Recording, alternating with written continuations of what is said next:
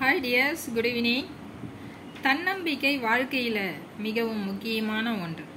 நமக்கு தன்னம்பிக்கை இருந்தால் வாழ்க்கையில் நாம் எதை வேண்டுமானாலும் சாதிக்கலாம். ஆனால் தன்னம்பிக்கை இல்லாவிட்டால் நாம் எதையும் சாதிக்க முடியாது. அதற்கு ஒரு சின்ன ஒரு குட்டி கதை.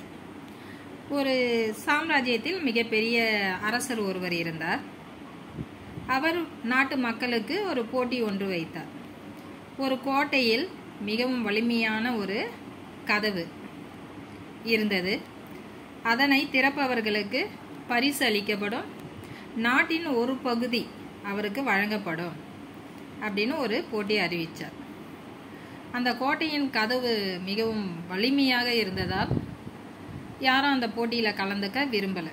ஒரே ஒரு இளைஞன் மட்டும் நான் இந்த போட்டியில் கலந்துக்கிறேன் அப்படின்னு சொல்லி அவர் போறாரு. ஆனால் அந்த ஊர் மக்கள் என்ன சொல்றாரு? அரசர் சொன்னதை நினைவுபடுத்துகிறார்கள். அதாவது போட்டியில் ஜெயித்து விட்டால் உனக்கு பாதி நாடு கிடைக்கும். ஆனால் போட்டியில் தோத்து விட்டால் உனது இரண்டு கைகளும் வெட்டப்படும் என்று அவர் கூறியுள்ளார். அது உனக்கு நினைவிருக்கிறதா? என்று கேட்டனர். எனக்கு நினைவிருக்கிறது. போட்டியில் ஜெயித்தால் எனக்கு பாதி நாடு கிடைக்கும். ஆனால் போனால் என் இரண்டு கைகள் மட்டும்தான் போகும். அதனால் நான் இந்த போட்டியில் கலந்து கொள்வேன் என்று அந்த போட்டிக்கு செல்கிறார். அரசரிடம் அனுமதி பெற்று அந்த கதவை திறக்க முற்படுகிறார். அது மிகவும் எளிமையாக திறந்து விட்டது அது வந்து ரொம்ப சிரமமே படவில்லை. அது என்னவென்ற அந்த இளைஞனிடம் கேட்டபோது அந்த இளைஞன் சொன்னான் கதவு பூட்டப்படவே இல்லை. கதவு திறந்துதான் பூட்டாமல் அது சாத்தி மட்டும் வைக்கப்பட்டிருந்தது. அதனால் என்னால் ஈஸியாக திறக்க முடிந்தது என்று கூறினான். அவரும் பரிசு பெற அரசவைக்கு சென்றார். அப்போது அரசரிடம் அந்த இளைஞன் கேட்கிறான் ஐயா நீங்கள் போட்டி அறிவித்தீர்கள். ஆனால் உங்கள் போட்டியின்படி கதவு பூட்டப்பட்டு தான் இருக்க வேண்டும். ஆனால் அந்த கதவு பூட்டப்படவே இல்லை. அது ஏன்? என்று அவன் வினவினான். அதற்கு அந்த அரசர் சொன்ன பதில் நான் தன்னம்பிக்கையுள்ள ஒரு இளைஞரை அதாவது தன்னம்பிக்கை உள்ள ஒரு குடிமகனை தான் நான் தேர்ந்தெடுக்க விரும்புகிறேன்.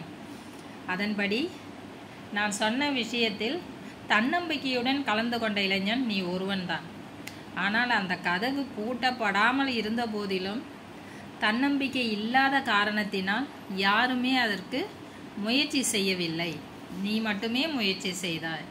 உன் தன்னம்பிக்கை தான் உன்னை வெற்றி பெற செய்தது என்று அவர் போட்டி அறிவித்தபடியே பாதி நாட்டை அந்த இளைஞனுக்கு எழுதி வைத்தார் அவனும் நல்லாட்சி புரிந்தான். இப்போ இந்த கதையிலிருந்து என்ன செய்ய என்ன தெரிந்து கொள்கிறீர்கள்?